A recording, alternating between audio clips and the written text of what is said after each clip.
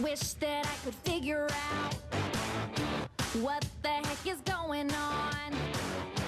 One day everything is cool.